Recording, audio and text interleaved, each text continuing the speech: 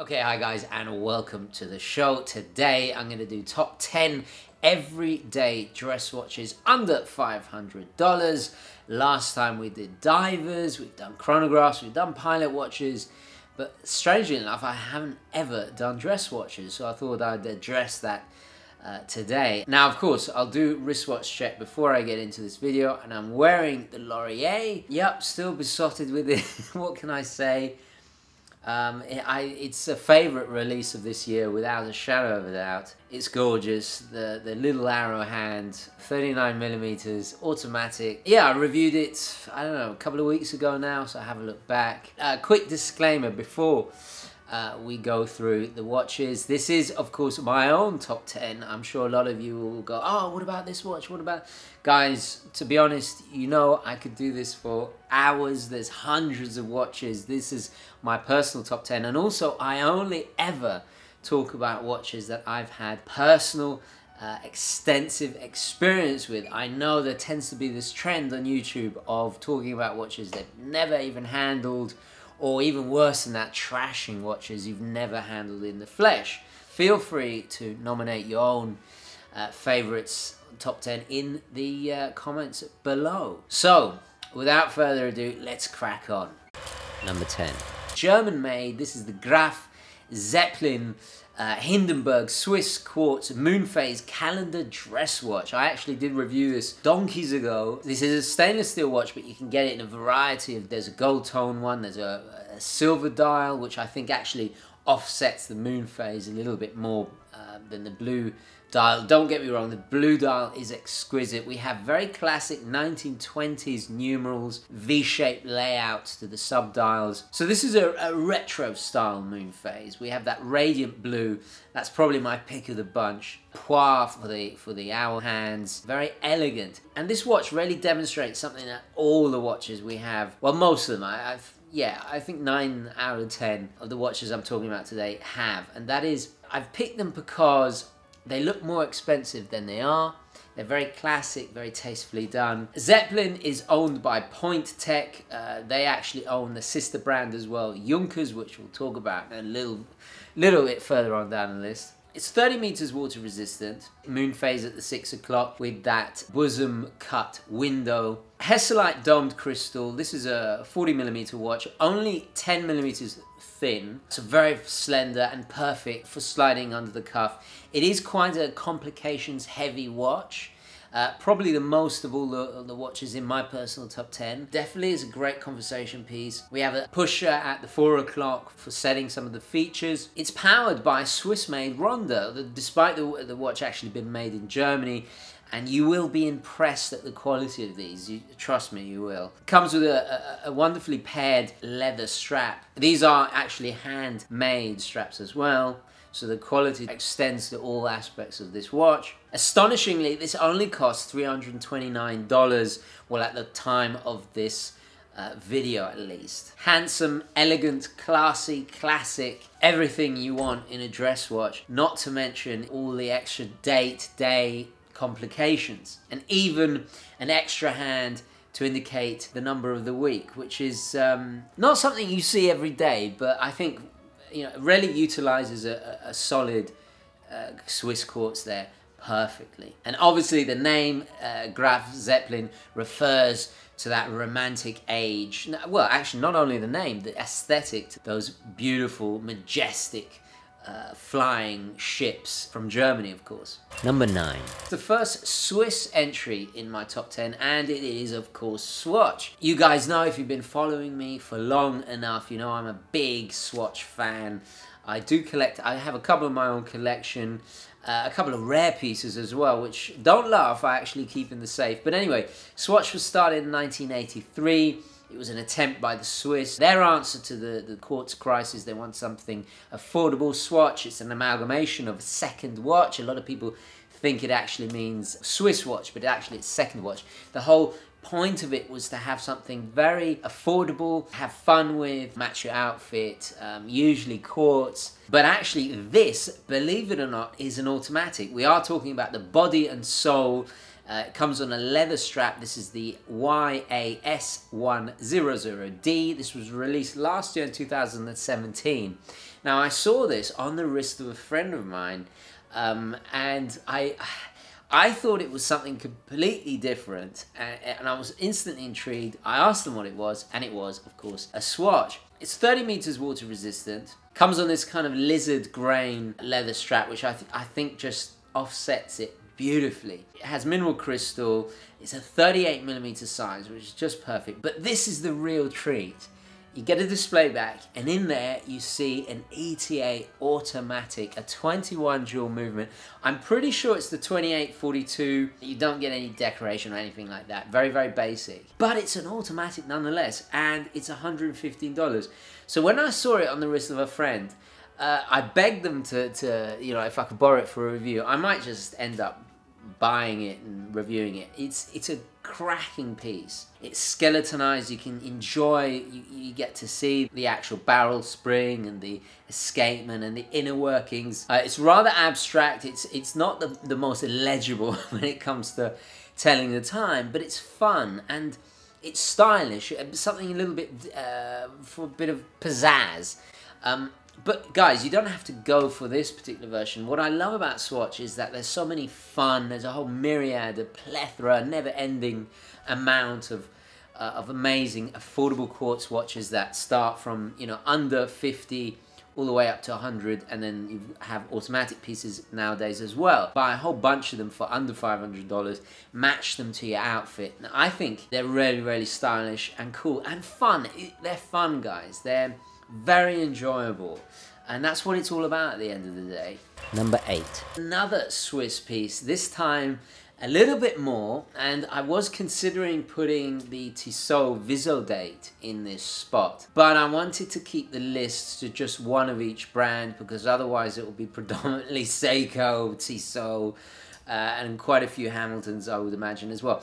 You know, I want to give space to more brands. But it is a Tissot, and this time I went for the T Classic Automatic, the Le Locle Powermatic 80. Now, if you remember the last list, I included a, a diver, one of their new divers with the Powermatic 80 movement. This has been what's called the, the silent revolution in affordable watchmaking. It's basically they, they took an ETA, they gave it a new spring barrel, boosted its power reserve to 80 hours, they put in a high-tech escapement that requires no regulation, you can't regulate it, it's done all at the factory with a laser, a very very precise performing piece. It's also made out of a new alloy, it's, I think it's called RCAP, which is basically a copper, nickel and zinc uh, alloy, very anti-magnetic, making sure it's, its performance and longevity, and thus you get this 80 hour power reserve, it's very very impressive. Now, I reviewed the chronometer version. This is the more affordable, uh, the entry level. Waffle dial, Roman numerals, you can get various colored dials, etc. I really like the rose gold PVD finish. I think it's very elegant. Tissot, as you guys know, is a legendary Swiss brand, founded all the way back in 1850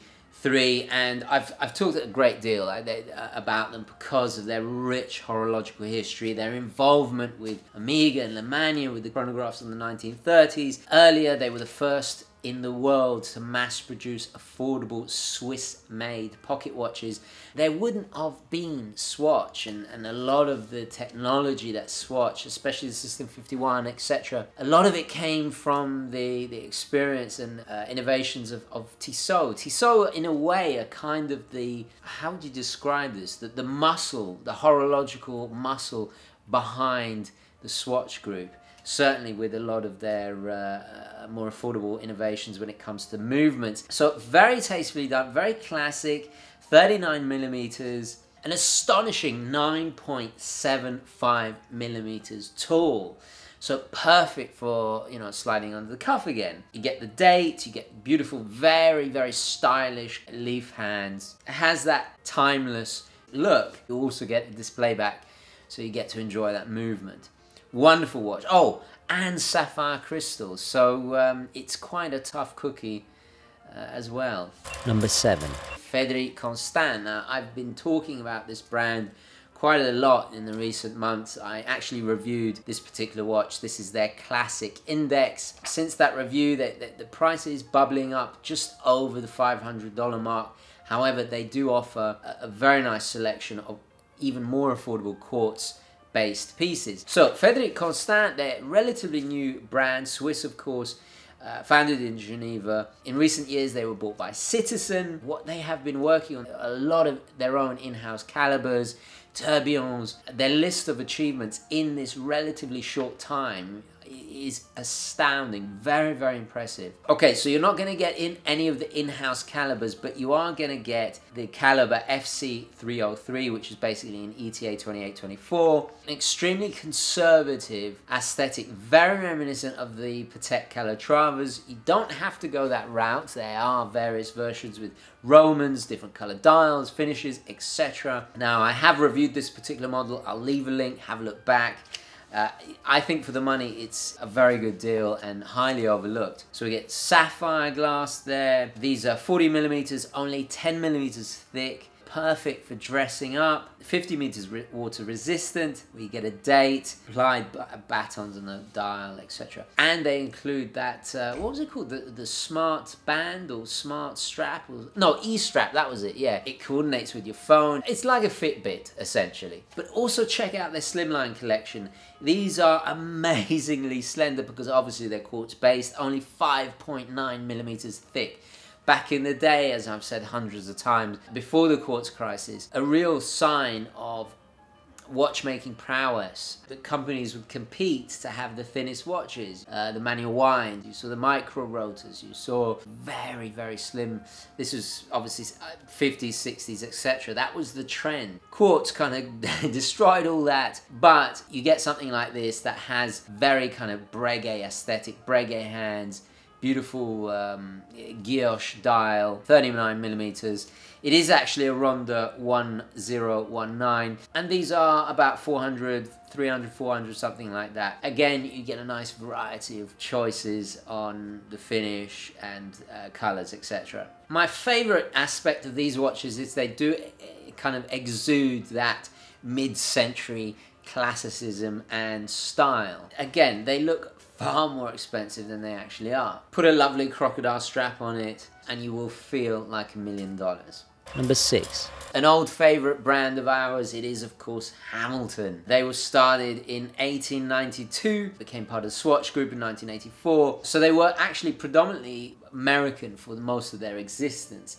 They are one of the kings in this price range because of, well, their list of achievements, not only in sheer uh, number of iconic watches they've produced, but also they've been in over 400 films. And when it comes to value for money, it's very difficult to beat. I would have loved to put the Intramatic here, but unfortunately they're creeping into the $600 range. But my choice is a very overlooked piece. This is the Valiant. We have those trademark style cues that is just so quintessentially Hamilton, those curvy lugs, rather surprising lance star hands, beautiful sunburst silver dial, Romans, very classic, very plain, minimalist, 50 meters water resistant, scratch resistant sapphire, this has the caliber H10 inside, which is basically based on the ETA, the 2824. Hamilton actually modified this. Uh, they slowed down the, the, the frequency. It operates at a 21,600 vibrations an hour, boosted the power reserve as well, an impressive 80 hours. Also the slower speed, its longevity is boosted because obviously less friction on the moving parts. So it's 40 millimeters, a little bit thicker, 12 millimeters. We don't get the display back, we get a nod to the old classic watches of the mid-century by Hamilton with this beautiful engraved coat of arms, which you don't really see Hamilton doing uh, that often. That this came out in 2017. I was due to review it. Unfortunately, I chose to do the review of the Field Watch. I simply can't review all the watches, but if I get my hands on this again, I will do a full review. Very restrained, uh, conservative aesthetic will make it absolute strap monster. And the price is around about 400 um, certainly you can find it under $500 so um, yeah maybe the secret is out Number five. The most iconic watch of the entire list. It is the Max Bill by Junghans. Now, Junghans, if you're not familiar with them, I have actually reviewed the Anthracite manual. Was it manual wind or automatic? I forget, but have a look back. Uh, Junghans is Germany's largest watchmaker. They were founded all the way back in 1861. The Max Bill is without a doubt their most iconic watch, and it's famous as the name implied, because it was designed by the legendary Swiss artist Max Bill. Now, you're not going to get the manual wind or the automatic, but you can get the quartz version. This is a lovely size, 38 millimeters, 30 meters water resistance. This is, of course, stainless steel. Uh, well, all the watches today are stainless steel, but I just have to uh, make sure I mention that. Acrylic crystal. My favorite is the beige one. The black dial as well, you can get a variety of different strap combinations. There are luminous markers on this. This watch isn't necessarily important uh, for the, the, the, the, watchmaking involved. I mean, inside we've got one of my favorite uh, affordable ETAs. It's the 955112. You get the end of life indicator, which I always like, and about, I think about 108 months of battery life, which is very substantial. So it's a great solid ETA, but you're not buying it for the, the movement. You're buying it really because it's a design icon. And it's a shame it's taken for granted these days because every single fashion watch has ripped off this original design. And when I did the review, somebody asked the question, well, what makes this real Bauhaus and something not? This was personally designed by Max Bill himself. It's done in accordance with the theories of his teaching. Now, he's an artist, he's an architect, a painter, an industrial designer, the, the all-round Bauhaus polymath of course, a graduate of the famous Bauhaus school in Germany. But beyond that, afterwards he went into teaching. And a lot of his theories, a lot of the mathematical thinking and reasoning behind the spacing and everything has gone into this design. So it's, it's very subtle, but it's a big difference. These are very faithful to the originals and that's why they're a little bit more expensive, but worth it because whenever I see anybody wearing a Max Bill, you know they know their stuff when it comes to design, and it's just good taste. Bauhaus design in particular lends itself perfectly to dress watches because of that understated look. It just adds an element of class, epitomizes everything a dress watch should encompass. And despite the domed acrylic glass, it's only 8 millimeters uh, tall, which is Beautiful, lovely, slender, perfect for dressing up. Being Bauhaus with that ultra modern minimalism, it's a strap monster. It's going to be extremely versatile dressing it up, dressing it down. Just looks great with everything. The Max Bill is just a smidgen under $500. Number four. Sticking with the Bauhaus uh, style, this is from Junkers. Now, we mentioned uh, Graf Zeppelin earlier. This is Zeppelin's sister brand. The brand is obviously named after the iconic and hugely influential uh, German aircraft maker. Have I reviewed this uh, I'm pretty sure. No, no, no. I reviewed just the standard date version. This, however, has a power reserve and a 24 hour sub dial. This is, of course, the Bauhaus Automatic 6060-2, exactly $500. Now this is what I call Bauhaus inspired. At the 12 o'clock we got a beautiful little power reserve. At the 6 we have a 24 hour sub dial. Uh, you can get this in black dial, there's a cream dial as well. We do get luminescence on the hands, very simple baton hands. Uh, inside we get a 26 jewel Citizen, this is the uh, Miyota 9132, very solid, great movement. Operates at actually 28,800 vibrations an hour, so you get a very nice smooth sweep, 40 hour power reserve, 40 millimeter and only 11 millimeters thick, which is still relatively nice and slender. 30 meters water resistant, uh, and I hate hate to I hate to stereotype, but it, it is that solid uh, quality German made product at the end of the day. It has amazing value for money, especially considering the quality, the practicality of the added complications. You do get a display back, although the Miyota isn't much to look at. Um, at least if you're just getting into automatic pieces, you get to enjoy a little bit of that uh, magic. Number three. To another uh, mid-century inspired piece, but more on the American side of things. This is the Timex Marlin hand winding, uh, the reissue of the famous 60s. I have it somewhere. I should have brought it, but it's not here. But I have the original uh, from the 60s. Now, those had the pin and plate movements in it. However, this has the Seagull ST6. A lot of people were kind of a, a little bit um, critical of it, but actually, if you compare it to the pin and plate movements of the originals, they're far better because at least you can repair them. Now, this was a very daring step for, for Timex. Now, Timex is an ancient company uh, from, well, ancient in terms of watch brands, from 1854. They have an amazing horological history like no other. I Well, have a look at the Marlin video. I go into their history. It's fascinating. There is even a Timex museum in the United States. Now, what made this so daring was this was released last year and you never really get to see 34 millimeter watches being released, but the hype was incredible. I, uh, they sold out immediately. People were flogging them on, on eBay for like $800.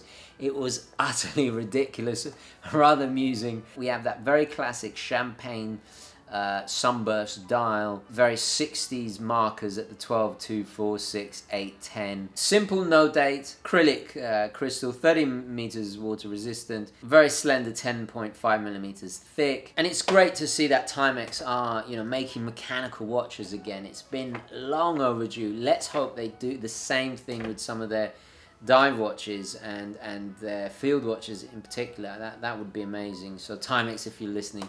This became certainly one of the the most interesting releases of last year a big success for Timex. In fact, they, they, they went on to, to, to continue production. But at first glance, you wouldn't be able to, well, apart from it being brand new, you wouldn't be able to tell. The modern Marlin is almost indistinguishable at first glance to its ancestors. And the feeling it gives, I mean, it's, it's, so, it's just evocative of that entire age. They rarely did it fantastically well at this reissue. Number two. We couldn't do this list without talking about the Orient Bambino. I mean, it's been a favorite of the channel. It's been a favorite, well, amongst uh, watch enthusiasts worldwide and for good reason too. A wonderful selection of different versions. They're now in their fifth generation. The current one has the sub seconds on the dial. We have a new movement, the F6222, uh, which is an in-house automatic caliber, hacking, manual wind, everything. It, I think it's only the first generation that had the more um, rudimentary movement without hacking manual wind. But I actually personally the first generation my favorite. They were a little bit more kind of 1930s style with the Romans etc. Then they moved into more kind of Bauhaus. I think with the third generation. The second generation was very kind of 60s, and then this final one is is kind of more 50s I would say. Arabic numerals and, and beautiful applied markers. You get them in uh, tons of colors, blacks, cream dials, uh, rose gold tone, uh, domed hard mineral, the date at the 3 o'clock. These are 40 millimeters. That is my only criticism. If they were 38, I would still own one today. A little bit too big for me. They are about 12 millimeters. Not not super slender, but you know, it is an automatic. You have the rotor and obviously the domed crystal there. Orient are fantastic. They've been going since the 50s. They are owned by the Seiko group, I think. It's very, very difficult to beat. Certainly when it comes to the price, uh, the older previous generations, you can pick them up for just over $100, about 150 bucks, which is the bargain of the century. There's always a, a, a, staggering amount of attention to detail with the with the Bambino. Each generation had their own set of hands to, to different dials. For under two hundred dollars, I mean, you can see why I put them at number two, right? Number one. Probably guessed it. It's sitting right here. Even though it has been discontinued, it is the Seiko SARB 033. They are still selling. Uh, they haven't sold out yet. By the time you're watching this, it could have happened. So I've come up with some uh, affordable alternatives from Seiko. But let's just go over the SARB 033. So it's a 38 millimeter. We get sapphire glass. Uh, these are creeping towards the $500 mark. 100 meters water resistant. You get the uh, 6R15, which is just an amazing, amazing uh, Seiko movement. Display back so you get to enjoy it.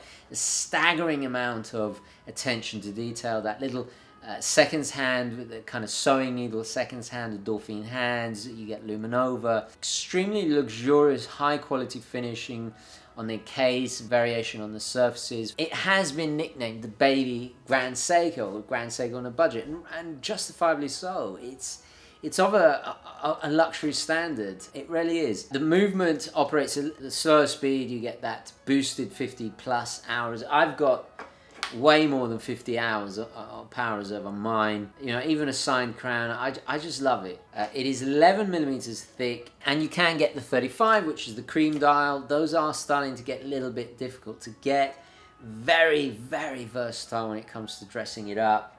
It's an absolute strap monster. You can dress it up, dress it down. It looks good on a NATO, on a, on a leather strap, anything and everything. It really does. This is my wife's now, and I still borrow it uh, on weekends. If you want some Japanese alternatives that are around about the same price, have a look at the SARY 057. At first glance, it looks just like a SARB 033. However, this has the 4R36, so we get a day date, uh, still again with the display back, this time with a lovely gold rotor. Uh, it's a slightly bigger 41 millimeters size and about, I think it's about 12 millimeters thick. Still 100 meters water resistant. This is the entry level to the Presage line.